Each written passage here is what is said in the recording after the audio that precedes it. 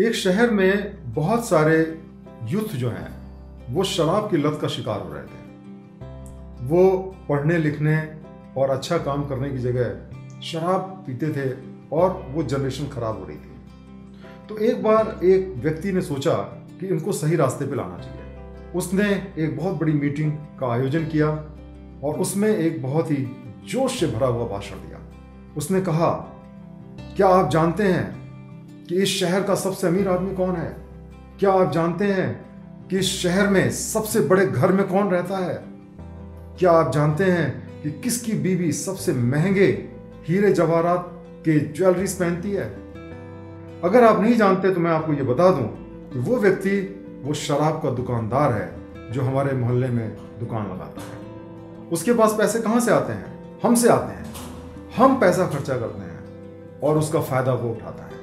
और इसके बाद में उन्होंने आह्वान किया कि लोग शराब को छोड़ दें। तो जब मीटिंग खत्म हो गई तो एक यंग कपल जो है उसके पास आया और उनसे कहा कि साहब, मैंने ज़िंदगी में इतना बढ़िया भाषण कभी नहीं सुना। बहुत बहुत धन्यवाद आपका कि आपने इतना सुंदर मार्गदर्शन किया हमारा।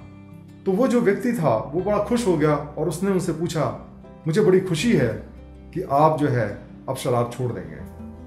उसने कहा, नहीं नहीं, आपको लगता है कुछ गलत फहमी हुई है। दरअसल हम इस मोहल्ले में अपनी शराब की, खुद की दुकान खोलना चाहते हैं। तो दोस्तों, ये जो कहानी है, इससे हमें ये पता चलता है कि हम लोगों को अच्छी बात भी अगर सिखाएँ तो लोग उसको अक्सर सीखते नहीं हैं। जो इन्फॉर्मेशन है नॉलेज है, ज्ञान है, वो अपने में अच्छा या बुरा नहीं होता है। वो एक खाने की तरह है। जैसे हम कोई खाना खाते हैं, अगर हम उसको सही तरीके से खाएँ तो वो खाना जो है हमें स्वस्थ बनाता है, निरोग बनाता है और उसी खाने को अगर हम गलत तरीके से खाएँ या एक्सेस में खाएँ तो वही बीमारी को भी जन्म देता है। इसी तरीके से जो ज्ञान है, अगर वो सही व्यक्ति के पास पहुँच जाए तो उसकी ज़िंदगी बनाता है और अगर गलत व्यक्ति के पास पहुँच जाए तो उसकी ज़िंदगी बर्बाद कर सकता है। दोस्तों, आज के समय ज्ञान चारों तरफ़ अवेलेबल है। इंटरनेट पे अवेलेबल है, किताबों में अवेलेबल है। लोगों से हमें पता चलता है सोशल मीडिया से हमें पता चलता है। लेकिन मुख्य चीज़ यह है कि उस ज्ञान का हम क्या इस्तेमाल करते हैं? क्या हम उसको सही तरीके से इस्तेमाल करते हैं जिससे हमारी ज़िंदगी बेहतर बने, या उसी ज्ञान को हम गलत तरीके से इस्तेमाल करते हैं जिससे कि हमारी ज़िंदगी खराब हो?